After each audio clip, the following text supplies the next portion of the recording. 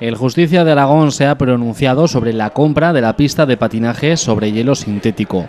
Según su informe, la comarca de Tarazona y el Moncayo no ha auxiliado al Justicia en la tramitación del presente expediente.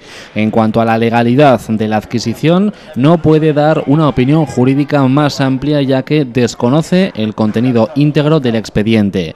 Los partidos de la oposición presentaron el año pasado una queja sobre la adquisición de la pista. Según su escrito, días antes de su puesta en marcha, en invierno del 2007, se aprobó el expediente de contratación que se concluyó sin formalizar el contrato.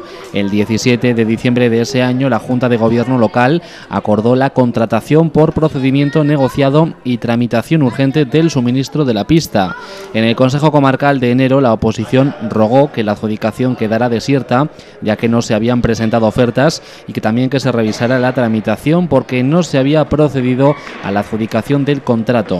En noviembre de 2008, el Pleno Comarcal acordó un reconocimiento extrajudicial de créditos por el que se pagaba la pista con el voto en contra de la oposición. Para el Justicia, la oferta fue presentada en marzo de 2008 con posterioridad al inicio de la prestación del servicio, por lo que se inició y concluyó la ejecución del contrato sin haberse formalizado este acto necesario por la ley.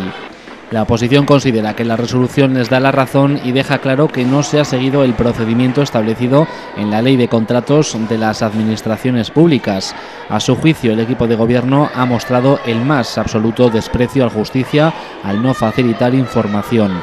Por su parte, desde el equipo de gobierno rechazan esta interpretación y señalan que el Justicia considera que el reconocimiento de crédito extraordinario no sería nulo de pleno derecho y que el foro adecuado para la labor de control a los equipos de gobiernos están en los órganos de la comarca.